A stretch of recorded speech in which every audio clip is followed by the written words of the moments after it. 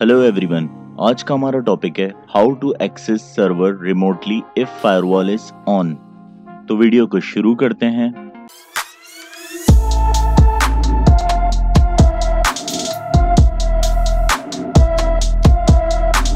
आज की बहुत इंपॉर्टेंट बात जो मैं आप लोगों से शेयर करना चाहता हूँ, इस चैनल की जितनी भी वीडियोस हैं, उन सब के पीछे मेरे अकेले का कोई हाथ नहीं है। हम एक टीम है बेसिकली मैंने इस चैनल का नाम भी इसीलिए रखा था माई आई टीम तो मैं अकेला सिंगल बंदा नहीं हूँ, इसके पीछे और भी दो तीन लोग हैं जो काम कर रहे हैं। मेरे बहुत अच्छे दो तीन दोस्त हैं, जो मुस्तकिल, जो हैं, हमारा व्हाट्सएप ग्रुप है, उसको एंटरटेन कर रहे हैं। एक लड़का है जो फेसबुक पोस्ट देखता है। तो आप लोगों से बस इतनी सी रिक्वेस्ट है कि प्लीज़ इस वीडियो को लाइक कर दिया करें। आपका लाइक जो है बेसिकली हमें मोटिवेट करता है मज़ीद वीडियोस बनाने के लिए। आई होप आप लोगों को समझ में आया होगा कि मैं क्या आप लोगों से कहना चाह रहा हूँ। आगे बढ़ते हैं वीडियो की तरफ़।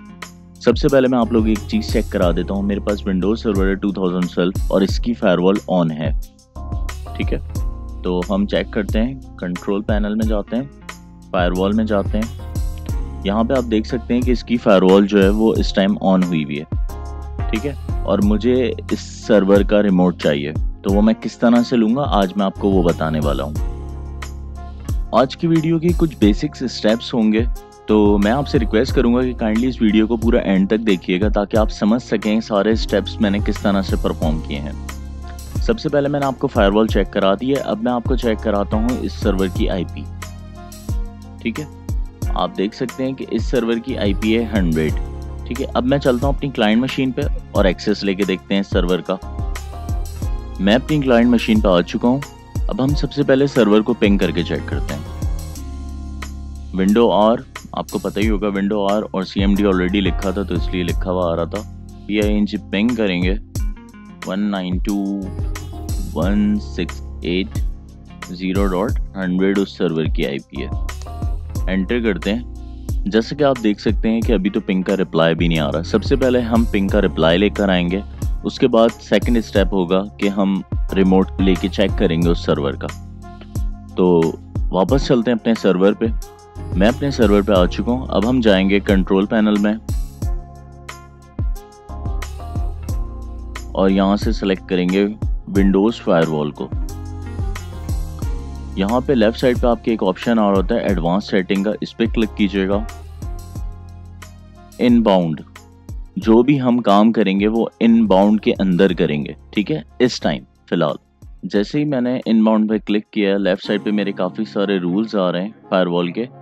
यहाँ पे आप देख सकते हैं कि एक रूल है फ़ाइल एंड प्रिंटर शेयरिंग बाकी ब्रैकेट में लिखा है echo request I C M I P V four dash in ये जो रूल है, ये रूल अगर डिसेबल होगा तो आपकी पिंग नहीं आएगी। इसको इनेबल कर देंगे तो पिंग आना शुरू हो जाएगी।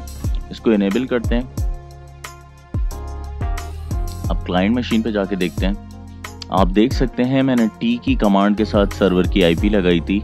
तो पिंग का रिप्लाई आना शुरू हो चुका है। अब हमारा सेकंड स्टेप है, हमें रिमोट लेना है सर्वर का। पिंग आ चुका है, अब हम रिमोट लेके चेक करते हैं इसका।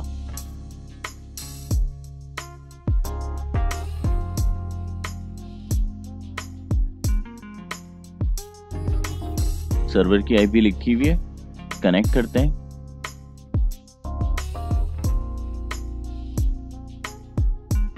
आप देख सकते हैं कि मेरे पास एरर आ चुका है क्योंकि मैंने अभी तक फायरवॉल में जाके जो है वो रिमोट का रूल इनेबल नहीं किया है। तो वापस चलते हैं अपनी सर्वर मशीन पे। आ, अब हमें इनबाउंड के अंदर ही रहना है और यहाँ पे आप देखिएगा कि आपके पास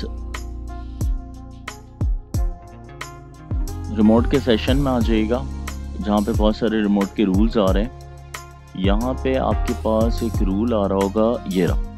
Remote desktop user mode T C P in और पी इन इन दोनों रूल्स को आपने इनेबल करना है.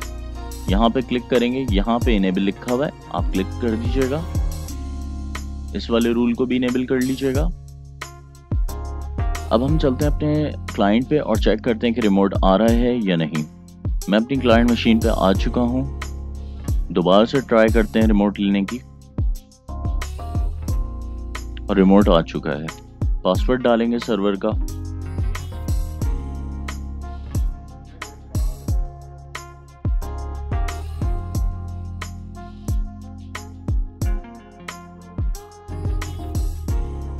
सर्वर का रिमोट आ चुका है। आई होप आप लोगों को समझ में आया होगा किस तरह से हम फायरबॉल में जाके पिंग के और रिमोट डेस्कटॉप के रूल्स को इनेबल करते हैं। अगर आप लोगों को वीडियो पसंद आई तो प्लीज़ इसको लाइक कीजिएगा चैनल को सब्सक्राइब कीजिएगा बेल आइकन पे क्लिक कीजिएगा ताकि मज़ीद आने वाली वीडियोस की नोटिफिकेशन आपको मिल सके। Thank you for watching this video